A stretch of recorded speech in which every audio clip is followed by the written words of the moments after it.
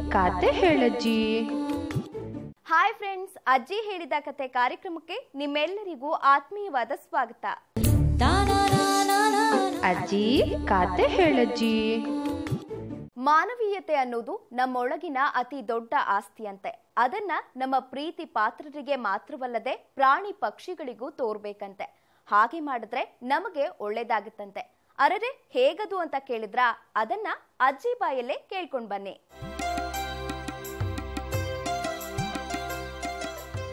ಮಕ್ಕಳ ಚಾರ್ಲಿಗೆ ಊರಲ್ಲಿ ಶತ್ರುಗಳೇ ಇರಲಿಲ್ಲ. ಯಾಕಂದ್ರೆ ಆತ ತುಂಬಾನೇ ಫ್ರೆಂಡ್ಲಿ ಎಲ್ಲರೂ ತುಂಬಾ ಚೆನ್ನಾಗಿ ಮಾತಾಡ್ಸೋರೆ.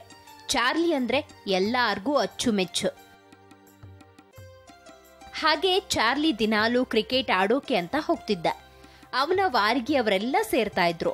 ಅಲ್ಲೊಬ್ಬ ಹುಡುಗನ ಹೆಸರು ಸುಬ್ಬ ಅಂತ. ಅವನಿಗೆ ಎಲ್ಲ ಸೊಕ್ಕಿನ ಸುಬ್ಬ ಅಂತಿದ್ರು. ಆತ ಯಾವಾಗ್ಲೂ ಆಟದಲ್ಲಿ ಮೋಸ ಮಾಡೋಕೆ ನೋಡ್ತಿದ್ದ.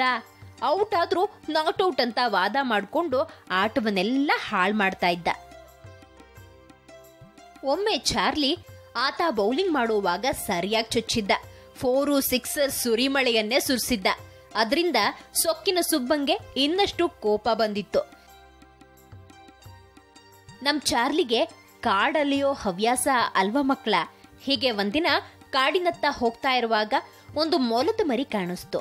ಈತ ಹತ್ತಿರಕ್ಕೆ ಹೋದ್ರೂ ಕೂಡ ಆ ಮರಿ ಓಡ್ಲೇ ಇಲ್ಲ. ಏನಾಗಿದೆ ಅಂತ ಇನ್ನೂ ಹತ್ತಿರಕ್ಕೆ ಹೋದ. ಪಾಪ ಮಕ್ಕಳ, ಆ ಮೊಲದ ಮರಿಗೆ ಒಂದು ಕಾಲು ಗಾಯವಾಗಿತ್ತು. ಆ ಮರಿ ಕುಣ್ತಾ ಇರೋದನ್ನ ನೋಡ್ದ. ಮೊಲದ ಮರಿಯನ್ನ ಅಲ್ಲಿ ಬಿಡೋಕೆ ಮನ್ಸಾಗದೆ ಅದನ್ನ ತನ್ನ ಮನೆಗೆ ತಂದು ಅದಕ್ಕೆ ಊಟ ಹಾಕಿ ಚೆನ್ನಾಗಿ ನೋಡ್ಕೊಂಡ. ಸ್ವಲ್ಪ ದಿನಗಳ ನಂತರ ಮೊಲದ ಮರಿಯ ಗಾಯ ಮಾಯಿತು. ಚಾರ್ಲಿಯೊಂದಿಗೆ ತುಂಬಾ ಆತ್ಮೀಯವಾದ ನಂಟನ್ನ ಆ ಮೊಲ ಬೆಳೆಸ್ಕೊಳ್ತು. ತುಂಬಾನೇ ಹಚ್ಕೊಂಡಿತ್ತು. ಹೀಗೆ ವಾರನೂ ಕಳೀತು. ಆ ಮೊಲದ ಮರಿಗೆ ತನ್ನ ಅಪ್ಪ ಅಮ್ಮ ನೆನಪಾದ್ರು. ಕಾಡಿಗೆ ಮರಳಿ ಹೋಗ್ಬೇಕು ಅಂತ ಅನಿಸಿ ಚಾರ್ಲಿ ನನ್ನನ್ನ ಕಾಡಿಗೆ ಬಿಟ್ಟು ಬಾ ಅಂತ ಕೇಳ್ಕೊಳ್ತು. ಆಯ್ತು ಅಂತ ಚಾರ್ಲಿ ಮೊಲದ ಮರಿಯನ್ನ ಕರ್ಕೊಂಡು ಕಾಡಿನತ್ತ ಹೋದ. ಅಲ್ಲಿ ಅದರ ಅಪ್ಪ ಅಮ್ಮ ಎಲ್ಲ ಇದ್ರು. ಮರಿ ಎಲ್ಲ ಕಥೆಯನ್ನ ಹೇಳ್ತು. ಅಪ್ಪ ಅಮ್ಮಂಗೆ ತುಂಬಾನೇ ಖುಷಿ ಆಯ್ತು ಹಾಗೆ ಚಾರ್ಲಿ, ನಾನಿನ್ನು ಹೊರಡ್ತೀನಿ ಅಂತ ಹೇಳ್ದ. ಆಗ ಮೊಲದ ಅಪ್ಪ ಒಂದು ಹಣ್ಣಿನ ಬೀಜವನ್ನ ಕೊಟ್ಟು, ಈ ಬೀಜವನ್ನ ನಿನ್ನ ಮನೆಯ ಅಂಗಳದಲ್ಲಿ ನೆಡು. ಅದು ದೊಡ್ಡ ಮರವಾಗಿ ಹಣ್ಣು ಬಿಡುತ್ತೆ ಅಂತ ಹೇಳ್ದ. ಚಾರ್ಲಿ ಮೊಲದ ಮರಿ ಹೇಳಿದಂತೆ ಹಣ್ಣಿನ ಬೀಜವನ್ನ ಮನೆಯ ಮುಂದೆ ನೆಟ್ಟ. ದಿನ ಕಳೆದ ಹಾಗೆ ಮರ ಬೆಳೆದು ದೊಡ್ಡದಾಗಿ ಹಣ್ಣು ಬಿಡಲಾರಂಭಿಸ್ತು. ಒಂದು ಹಣ್ಣು ಇತರ ಹಣ್ಣಿಗಿಂತ ಹತ್ತು ಪಟ್ಟು ದೊಡ್ಡದಾಗಿ ಬೆಳೆಯಿತು. ಆಶ್ಚರ್ಯದಿಂದ ಆ ವಿಶಿಷ್ಟವಾದ ಹಣ್ಣನ್ನ ಕತ್ತರಿಸ್ತ ಅವನ ಆಶ್ಚರ್ಯಕ್ಕೆ ಪಾರವೇ ಇರಲಿಲ್ಲ. ಆ ಹಣ್ಣಿನಿಂದ ವಜ್ರ, ವೈಡೂರ್ಯ, ಮುತ್ತು, ಹವಳುಗಳು ಸುರಿದು ಬಂದವು.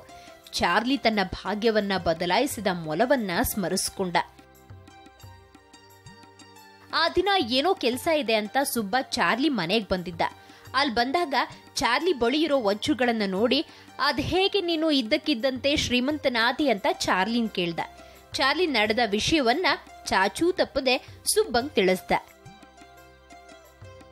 ಚಾರ್ಲಿಗೆ ಸಿಕ್ಕ ಸಂಪತ್ತೆಲ್ಲ ತನಗೂ ಸಿಗಬೇಕು ಅನ್ನೋ ಆಸೆಯಿಂದ ಸುಬ್ಬ ಚಾರ್ಲಿ ಹೋದಂತೆ ತಾನು ಕಾಡಿಗೆ ಹೋದ. ಕಾಡಿನ ದಾರಿಯಲ್ಲಿ ಎಷ್ಟೇ ಪ್ರಯತ್ನಿಸಿದ್ರೂ ಯಾವ ಕುಂಟುವ ಅಥವಾ ಗಾಯಗೊಂಡಿರೋ ಮೊಲ ಕಾಣಿಸ್ಲೇ ಇಲ್ಲ.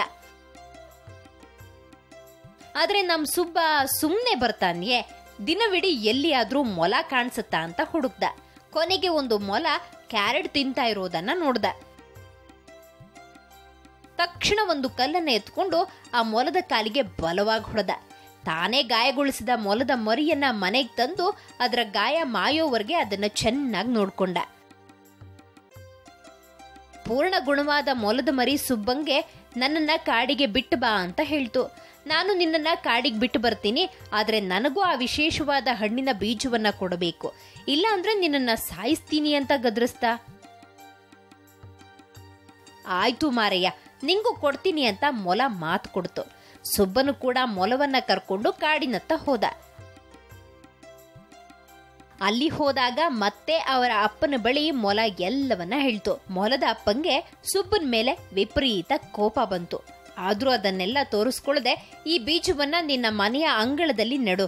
ಅದು ದೊಡ್ಡ ಮರವಾಗಿ ಹಣ್ಣು ಬಿಡುತ್ತೆ ಅಂತ ಬೀಜ ಕೊಟ್ಟ. ತುಂಬಾ ಖುಷಿಯಿಂದ ಸುಬ್ಬ ಮನೆಗೆ ಬಂದ. ಬೀಜವನ್ನ ನೆಟ್ಟು ಗಿಡವನ್ನ ಚೆನ್ನಾಗಿ ಬೆಳೆಸ್ದ. ಕಾಲ ಕಾಲಕ್ಕೆ ನೀರ್ ಹಾಕಿ ಪೋಷಣೆ ಮಾಡ್ದ. ಕೆಲ ದಿನಗಳು ಕಳೀತು ಮಕ್ಕಳ, ಆ ವಿಶೇಷ ಮರದಲ್ಲಿ ಹಣ್ಣು ಬಿಡಲಾರಂಭಿಸ್ತು. ಅವುಗಳಲ್ಲಿ ಒಂದು ಹಣ್ಣು ಇತರೆ ಹಣ್ಣಿಗಿಂತ ಹತ್ತರಷ್ಟು ದಪ್ಪ ಬೆಳೀತು.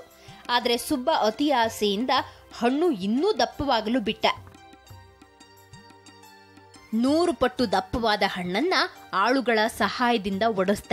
ಆಗ ಹಣ್ಣಿನಿಂದ ಧಾರಾಕಾರವಾಗಿ ಮರಳು ಸುರಿಯಲಾರಂಭಿಸಿ ಸುಬ್ಬನ ಮನೆ ಮುಳುಗುವಷ್ಟು ಮರಳು ಸುರಿದು ಕೊನೆಗೆ ಸುಬ್ಬ ತನ್ನ ಎಲ್ಲಾ ಆಸ್ತಿ ಕಳ್ಕೊಂಡು ಬಡವನಾಗಿ ಹೋದ. ತನ್ನ ಅತಿಯಾದ ಆಸೆಯಿಂದ ಇರೋಬ್ಬರು ಬರೋ ಆಸ್ತಿ ಕಳ್ಕೊಂಡ. ದುರಾಸೆ ನಮ್ಮ ಅಂತ್ಯಕ್ಕೆ ಕಾರಣವಾಗುತ್ತೆ ಅನ್ನೋದನ್ನ ಸುಬ್ಬ ತಿಳ್ಕೊಂಡ ಮಕ್ಕಳ. ನೋಡಿದ್ರ, ಅದೃಷ್ಟ ಅನ್ನೋದು ಎಲ್ಲರನ್ನ ಹುಡುಕೊಂಡು ಬರುವುದಿಲ್ಲ. ಬಂದಾಗ ಮಾತ್ರ ನಾವು ಜಾಗರೂಕರಾಗಿ ಅದನ್ನ ಬಳಸ್ಕೊಳ್ಬೇಕು. ಅತಿ ಆಸೆಯಿಂದ ಯಾರೊಬ್ಬರೂ ಉದ್ಧಾರವಾಗಿಲ್ಲ. ಪಾಲಿಗೆ ಬಂದಿದ್ದು ಪಂಚಾಮೃತ ಅನ್ನೋದನ್ನ ಅರಿಯೋಣ. ಅಲ್ವಾ ಮಕ್ಕಳ?